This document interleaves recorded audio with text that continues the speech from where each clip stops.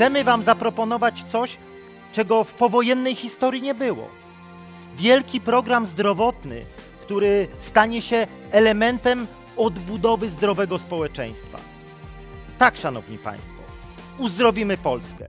kiedy dzieje się krytyczny czas. My, lekarze, wiemy, że nie można się załamywać. Trzeba walczyć o ludzi.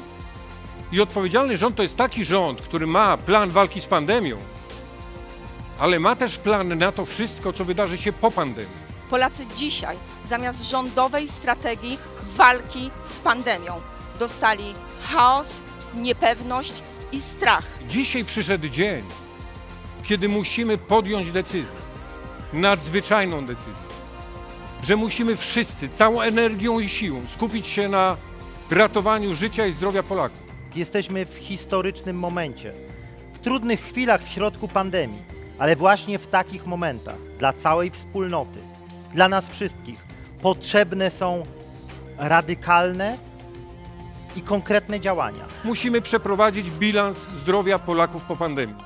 Po prostu musimy sprawdzić nasz stan zdrowia po tym wszystkim, z czym dzisiaj się borykamy.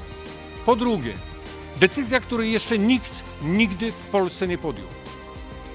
100 największych szpitali, 100 najlepszych szpitali musi zacząć pracować pełną mocą, bez żadnych limitów i ograniczeń.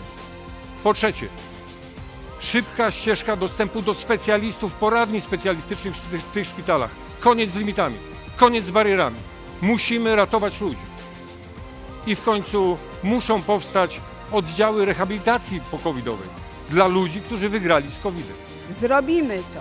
Damy ekstra pieniądze na badania dodatkowe lekarzowi rodzinnemu, aby każdy z nas mógł profilaktycznie, zapobiegawczo, przed chorobą z tych badań skorzystać.